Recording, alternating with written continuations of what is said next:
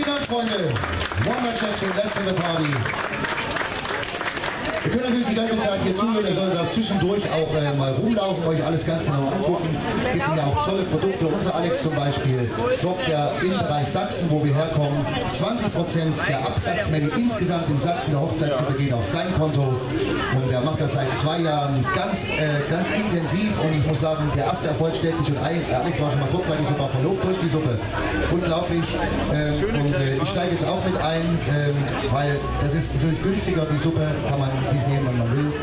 Wenn da ist, ja nicht ganz so. Deswegen äh, ein sehr, sehr gutes Produkt. Wir kosten sie natürlich gerne. Also kostet euch mal durch. Schaut vor allen Dingen rum. Aber vergesst nicht, es gibt auch ein paar Kleinigkeiten, die man hier beachten muss. Das hier mal vorbereitet. Das ist ja ein, äh, ein Lebensmittelbetrieb. Das heißt, ähm, das sieht natürlich scheiße aus, da ich euch recht. Aber es hat durchaus seinen Sinn. Nicht, dass dann in der Suppe hier, ihr wisst schon, es wird jetzt gleich fotografiert. Das ist mir natürlich unangenehm. Das geht ja heutzutage sofort, geht das in die sozialen Netzwerke. Und wenn ich heute Abend nach Hause komme, werde ich wahrscheinlich nicht mehr reingelassen. Egal.